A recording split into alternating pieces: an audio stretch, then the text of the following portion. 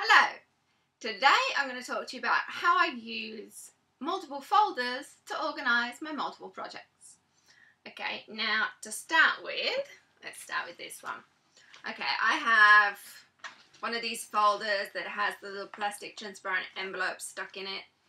This is what I use for my editorial calendar for my blogs, for example, because I have two main blogs.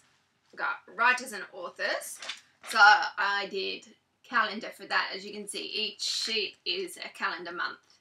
And then I can schedule in then the different posts that have to go on different days. That's particularly important with the writers and authors site because I host a lot of other people on that site for interviews, for guest posts, I do um, book experts and uh, book spotlight pieces, do reviews and things like that as well, which for the most part, they're part of actual book tours that the authors are doing and things. So it's important that I keep the dates where they should be and know when I have to be posting. So that works there. I also have another calendar which I use for jolinsdell.com. Again, it's the editorial calendar so I know what I'm posting and when I'm posting. So I tend to, at the beginning of the month or even before then, um, sit down and I brainstorm different ideas for content and stuff like this month I'm doing the September video challenge. And so um, I planned out the different videos and things that I would be doing for the whole month which I'm obviously each day I'm spotlighting them on jolinsdell.com so if you haven't checked them out go and check them out now. And if you are taking part in the challenge as well then make sure you drop back every day to post your own video links for the videos that you've been posting for the challenge as well. Okay, just drop down into the comment section of the post for that day and add your link there as well because it's good to connect and see what everyone else is doing. The whole idea is that we can feed off each other's ideas. But anyway, so this is what it is. I also have a little notes section down the side so I can add in little things like maybe if I'm planning a launch coming soon or something then I can have little notes about the things that I need to be doing then. Also on the um, writers and authors site as well. I have little notes on there for the site statistics and things like that.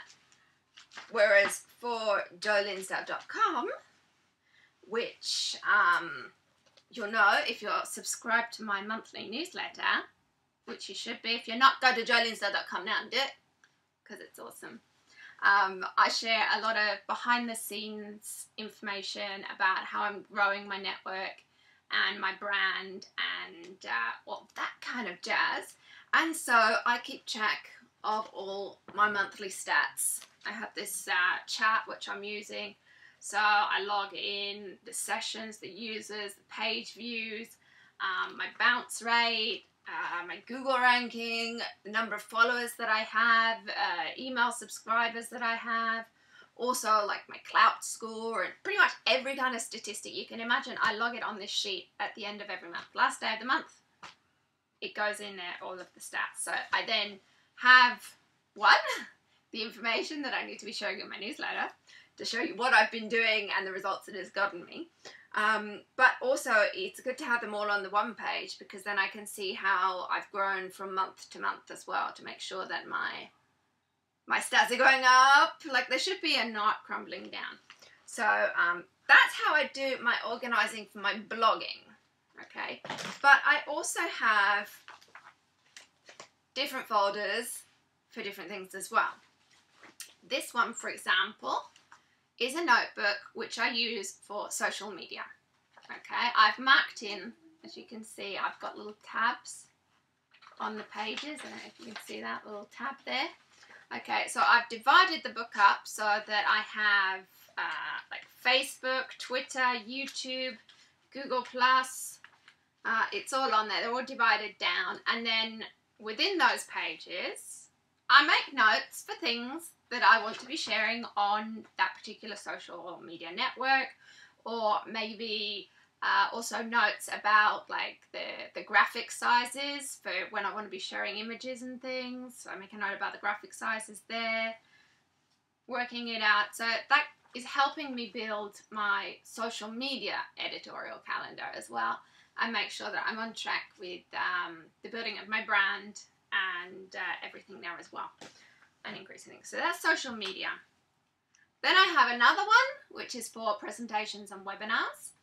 Um, I particularly like doing um, presentations and webinars during online events because obviously I'm British, but I live in Italy, and Italy doesn't have that many English language in person events um, for the sort of things that I do. So um, it is getting better. There is a bit more stuff happening now than there used to be, but it's still, um, for the most part, in Italian, which is fine. I'm okay. I can speak Italian, so um, that's not a problem. I'm actually bilingual. But um, because my whole branding and everything is designed around English speakers, and my therefore my audience is English speakers, um, it doesn't make much sense really for me to go presenting in Italian you follow. But anyway, so this is where I make notes about um, or ideas that I have for possible future webinars or presentations, um, but also where I do my planning for the webinars and presentations that I'm actually scheduled to do already. So I have a separate one there. And then this one, which is like falling apart because it has pages shoved in all over the place, is one of my most used. This is for ideas and notes for my work in progress which is why it's falling apart. I have lots of these actually, which are for um, my ideas and notes. Um, and this is where I just jot down different ideas, um, maybe do some rough plotting for a book. This is like my, my big brainstorming happens in this blue one. Um, so yeah, it's all color coded down so that I know if I'm working on a webinar or something, then I need to get my red book because that's where I've got the notes um, for that. If I'm working on social media stuff, I need to go get the green one because that's got that stuff there. Blog stuff, orange folder. It, it's all divided down and it really does help because it separates it down. When I've got to work on one thing, I can just concentrate on that one thing. I know where my notes are for each separate project that I do. Um, so anyway, that's uh, how I organize my various different projects um, if you have a really cool system for organizing multiple projects as well, then please tell me about it because I would love to pick up uh, some new ideas and things, some inspiration maybe that I can insert into my own system. So leave a comment below and please show me your thoughts. Uh, if you've liked this video, then please give it a like. Uh, also, make sure you subscribe to the channel so you don't miss out on new uploads. And like I said before, come visit me at jolinsdell.com. See you next time.